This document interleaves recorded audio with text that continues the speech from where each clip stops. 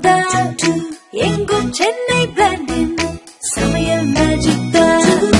Chennai brand Ponni rice அன்புள்ள ladies choice Chennai brand basmati biryani ருசி. Super. மணிமணியாய் துவரைத்தால் ஹெல்தி டேஸ்டி சன்ஃபிளவர் ஆயில் இவையாவும் உங்களுக்காக சென்னை ட்ரேடிங் சூப்பர் மார்ட் தயாரித்து வழங்கும் புதிய அறிமுகம். நம்ம சென்னையே இப்போ சிங்கப்பூர்ல.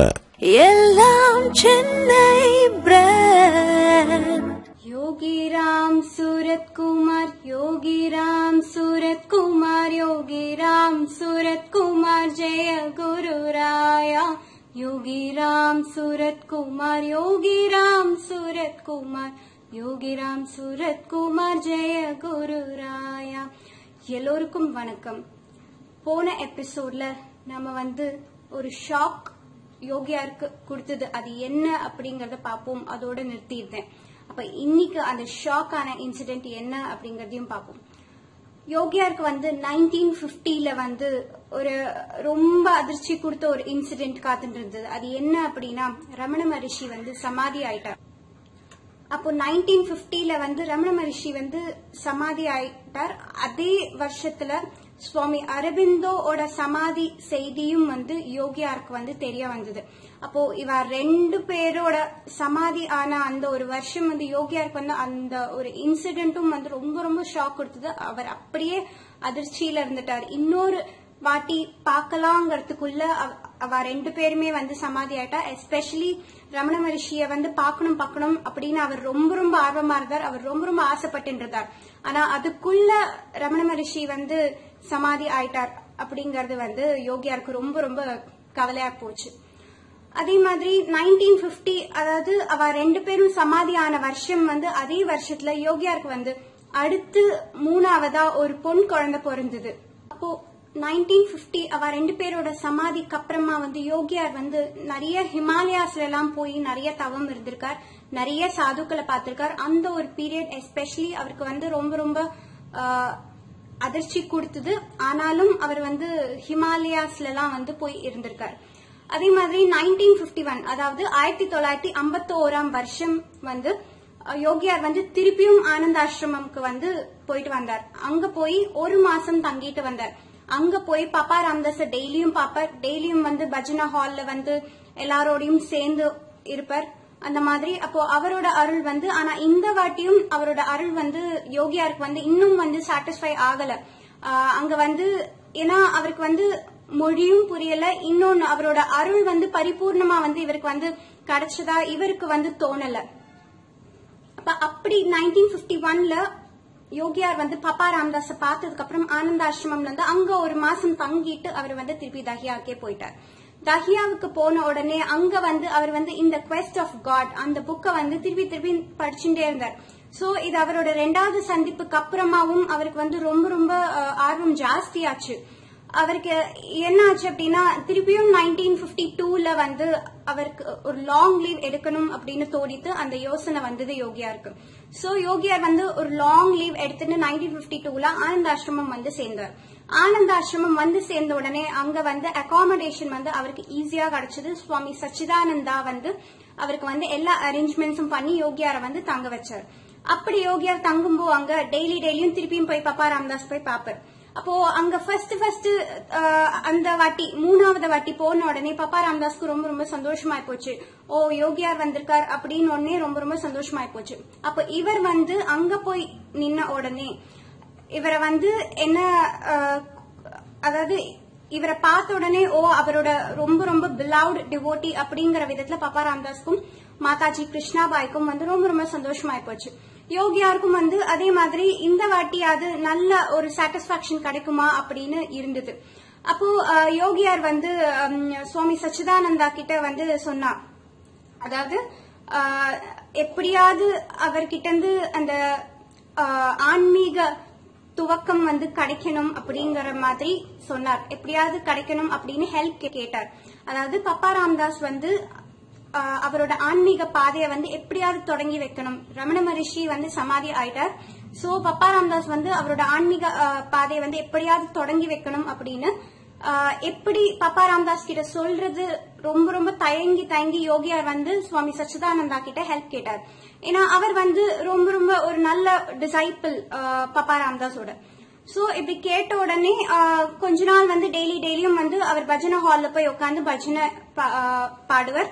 அப்ப ஒரு நாளைக்கு வந்து பப்பா ராம்தாஸ் வந்து யோகியாரை பார்த்து வந்து கேட்டார். இந்த மாதிரி என்ன உனக்கு வந்து ஆன்மீக பாதையில வந்து தொடங்கி வைக்கணுமா? அந்த மாதிரி வந்து பாப்பா ராம்தாஸ் வந்து யோகியார் கிட்ட கேட்டார். அப்ப யோகியாருக்கு வந்து ரொம்ப ரொம்ப அதிர்ச்சியா போச்சு அப்போ ஒரு விதமா தலையாட்டின்டே ஆமாங்கிற விதத்துல தலையாட்டின்டே இருந்தார் யோகியார் அப்போ பப்பா ராம்தாஸ் வந்து யோகியார கூப்பிட்டு இங்க வா இங்க உட்காரு அப்படின்னு சொன்னார். இங்க வா உட்காருன்னு சொன்ன உடனே யோகியாரும் உட்கார்ந்துட்டு பப்பா ராம்தாஸ் வந்து யோகியாருக்கு வந்து சொல்லி கொடுத்தார். நான் வந்து ஒரு லைன் சொல்றேன் நீ அதை வந்து ரிப்பீட் பண்ணணும். நான் சொல்றதுக்கு நீ திருப்பி ரிப்பீட் பண்ணணும் அப்படின்னு சொன்னார். சோ அது என்ன சொன்னார் அப்படின்னா ஸ்ரீராம ஜெயராம ஜெய ஜெயராம சோ பப்பா ராம்தாஸ் இத சொன்ன உடனே யோகியார் வந்து திருப்பி சொல்றார் ஸ்ரீராம ஜெயராம ஜெய ஜெயராம அப்ப பப்பா ராம்தாஸ் சொல்றார் ஒரு பெரிய ஒரு டாஸ்க கொடுக்கிறார். உனக்கு வந்து ஆன்மீக பாதைய தொடங்கி வைக்க போறேன். அப்ப அது நீ என்ன பண்ணணும் அப்படின்னா இந்த ஸ்ரீராம ஜெயராம ஜெய ஜெயராமங்கிறது வந்து நீ ஒரு வாரத்துக்கு அதாவது ஏழு நாளைக்கு இருபத்தி நாலு மணி நேரமும் சாப்பாடு தண்ணி எல்லாம் மறந்து நீ வந்து இது தொடர்ந்து சொல்லிகிட்டே இருக்கணும் அப்படின்னு பப்பாராம்தாஸ் வந்து யோகியார் கிட்ட சொல்ற அப்ப யோகியாரும் என்ன பண்றாரு அப்படின்னா அவர் வந்து அங்கேயே வந்து ஒரு மலையில போய் உட்கார்ந்து இந்த மாதிரி அவர் வந்து கண்டினியூஸா ஏழு நாளைக்கு இருபத்தி நாலு மணி நேரமும் வந்து சொல்லிட்டு இருக்கார் சொல்லிட்டே இருக்கார். அப்ப இப்படி சொல்லி முடிச்ச உடனே அவருக்கு வந்து ஒரு குரல் வந்து கேக்குறது. அது என்ன குரல் அப்படின்னா அதாவது பப்பா ராமதாஸோட குரலாவே ஸ்ரீராம ஜெயராம ஜெய ஜெயராம இந்த ஸ்ரீராம ஜெயராம ஜெய ஜெயராம சொல்ற மாதிரி ஒரு சவுண்ட் வந்து கேக்குறது. அந்த சவுண்ட் கேட்க கேட்க இவர் வந்து அப்படியே வந்து சந்தோஷத்துல வந்து ஆடின்னு இருக்கார் யோகியார். சோ அங்க சந்தோஷத்துல ஆடின்னு இருக்கும்போது வந்து அங்க இருந்த மக்கள்லாம் வந்து யோகியார வந்து பிடிச்சு உக்காத்தி வச்சு அப்ப பப்பா ராம்தாஸ்க்கு அவ்வளோ சந்தோஷமாயி போச்சு. யோகியார் வந்து அதை வந்து சொல்றார் அப்படின்னு அவ்வளோ யோகியாருக்கும் வந்து திருப்பி அவ்வளோ இந்த மூணாவது வாட்டி தான் வந்து அவருக்கு அவ்வளோ சாட்டிஸ்பாக்சன் கிடைச்சது. அதாவது இதுவரைக்கும் கூட அவர் வந்து பப்பா ராமதாஸ பார்த்திருக்கார். ஆனா அவர் இந்த மூணாவது வாட்டி பப்பா ராமதாஸ பார்க்க வரும்போது தான் அவருக்கு வந்து அந்த அளவுக்கு சந்தோஷம் கிடைச்சது. சுவாமி பப்பா ராம்தாஸும் வந்து யோகியார் பார்த்த உடனே அவ்வளோ சந்தோஷப்பட்டார். யோகியாருக்கும் அதே விதமான சந்தோஷமும் சாட்டிஸ்பாக்சனும் இந்த வாட்டி தான் வந்து சுவாமி பப்பா ராமதாஸ் கிட்ட. அப்போ இந்த ஆன்மீக துவக்கம்ங்கிற அந்த இன்சிடென்ட் நடந்தது வந்து ஃபர்ஸ்ட் வீக் ஆஃப் செப்டம்பர்ல வந்து நடந்தது. ஆயிரத்தி தொள்ளாயிரத்தி ஐம்பத்தி ரெண்டாம் வருஷம் வந்து யோகியாருக்கு வந்து சுவாமி பப்பா ராம்தாஸ் வந்து இந்த மாதிரி சொன்னார்.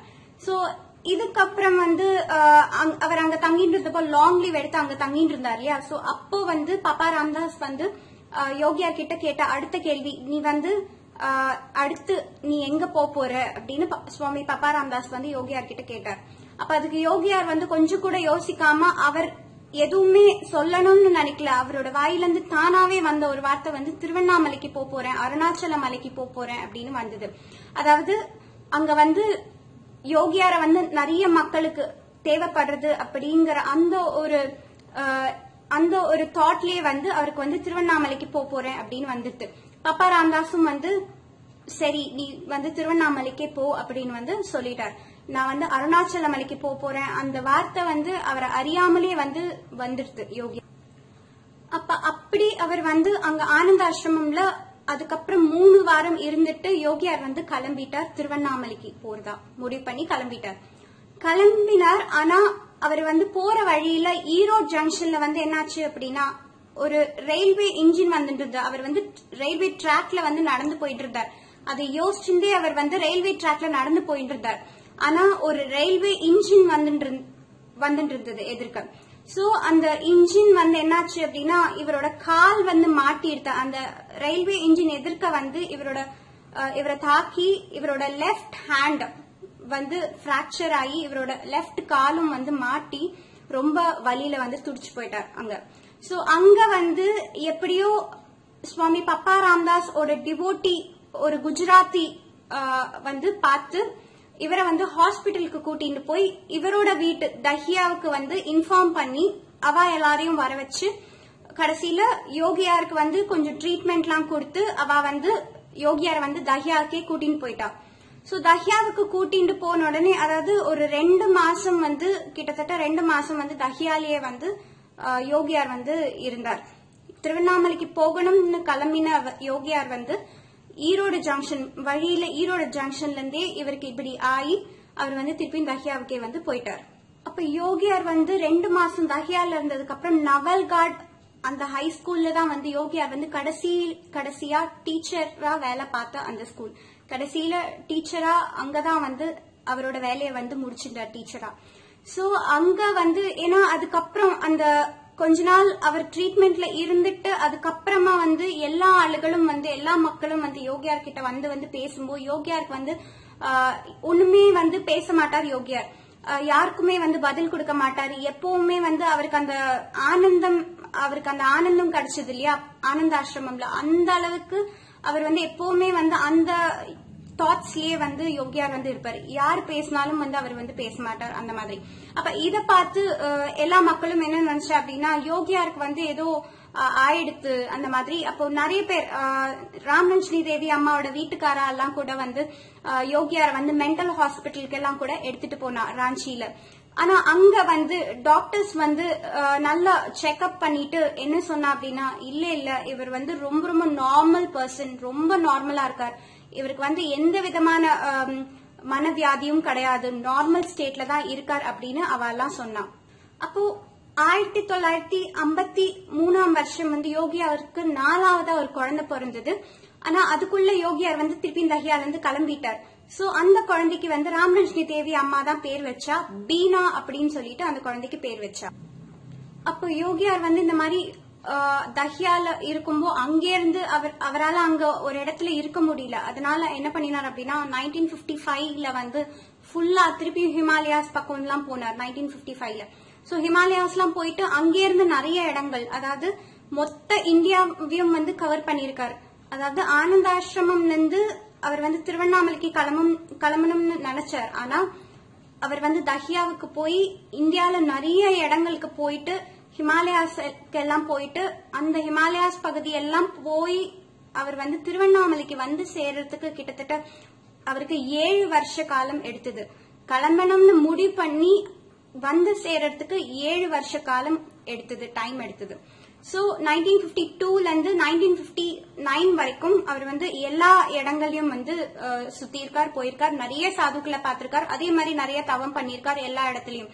ஹிமாலய மலை பகுதிகளெல்லாம் நிறைய காலங்கள் இருந்திருக்கார். அந்த ஏழு வருஷம்ங்கிறது வந்து அவருக்கு இன்னொரு விதமான எக்ஸ்பீரியன்ஸா இருந்திருக்கு அவரோட லைஃப்ல சோ கடைசியில வந்து நைன்டீன் பிப்டி நைன்ல தான் வந்து யோகியார் திருவண்ணாமலைக்கு வந்து சேர்ந்தார். சோ யோகியார் வந்து திருவண்ணாமலைக்கு வந்து ஃபைனலா ஆயிரத்தி தொள்ளாயிரத்தி ஐம்பத்தி ஒன்பதாம் வருஷம் அதாவது நைன்டீன் பிப்டி நைன் அப்போ திருவண்ணாமலைக்கு வந்து சேர்ந்தார். சோ வந்து சேர்ந்தோடனே திருவண்ணாமலையில வந்து அந்த பஸ் ஸ்டாப் இருக்கு. சோ அந்த பஸ் ஸ்டாப்ல வந்தோடனே அங்க வந்து ஒரு அரச மரம் இருக்கு. சோ அந்த அரச மரம் வந்து பிற்காலத்துல யோகியாருக்கு ரொம்ப ரொம்ப பிடிச்ச ஒரு மரமா வந்து அவர் வந்து கருதியிருக்கார். சோ அந்த ஒரு மரத்தை வந்து பாக்குறார் அருணாச்சல மலையை வந்து வேண்டார் முத முதல்ல. அங்க வந்த உடனே முழுசா வந்து அதாவது மக்களுக்கு வந்து அவர் வந்து தேவைப்படுறது அப்படின்னு சொல்லிட்டு அவர் வந்து அப்போ நைன்டீன் பிப்டி நைன்ல வந்து அங்க வந்து சேர்ந்திருக்கார். சோ அவர் வந்து நிறைய பேருக்கு நிறைய மிராக்கல்ஸ் எல்லாம் பண்ணியிருக்கார். அதே மாதிரி அவரோட பொறுமையை சோதிக்கிற மாதிரி அவர் அவருக்கு நிறைய இன்சிடென்ட்ஸ் வந்து அங்க மக்களால நடந்திருக்கு. அது என்ன விதமான இன்சிடென்ட்ஸ் அவர் எவ்வளோ பொறுமையா இருந்தார் அப்போல்லாம் அப்படிங்கறத வந்து நம்ம நெக்ஸ்ட் எபிசோட்ல பார்ப்போம். நன்றி வணக்கம்.